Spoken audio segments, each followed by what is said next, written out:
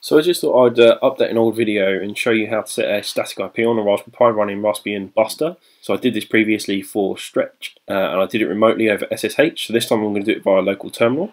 Um, you can do it over SSH, just later on in the process you'll need to reboot rather than uh, use a separate command to re-enable an interface. There's no real difference between the two. So anyway, let's get cracking. So the first thing I'm going to do is I'm going to look up the IP address I currently have using ifconfig. Here you can see my uh, LAN address. There's no Wi-Fi enabled, so there's no Wi-Fi network on this machine at the moment. And the next thing we're going to do is we're going to go and edit a configuration file. My editor choice is Nano, so I'm going to use that.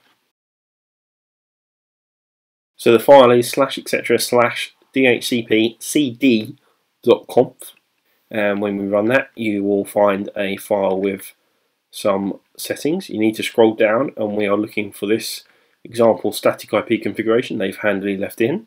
To enable it, basically we need to uncomment these lines. Uh, I'm only using IPv4, so I'm going to leave the IPv6 address alone. For my network, these settings are not valid. So I need to change this to a, a LAN IP address. So in my case, 3.230 I know is available. And then I also need to update my uh, router and also the DNS. Uh, you might also find an IPv6 address in here, which uh, it's up to you whether you want to use, but I have a Pi-hole running on the network, so I'm just going to insert that there. And then I'm going to save this file using uh, Control O, and then close that down. And then from here, we actually have two choices. So you can either do a sudo reboot, uh, and that will restart the machine. So if you're over SSH, that's uh, probably the better option. And then when it comes back up, you use new IP address to uh, connect back to it. Um, but because I'm local to the machine, I can do it a different way. So I can use this command. So sudo IP link set the interface, which is ETH0.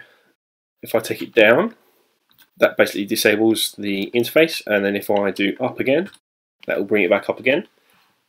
So saving the file is not enough to actually reset the IP stack and give it a new IP address. So if we now do an ifconfig,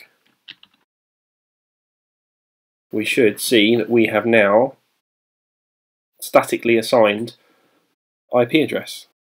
Yeah, it really is as simple as that. Thanks.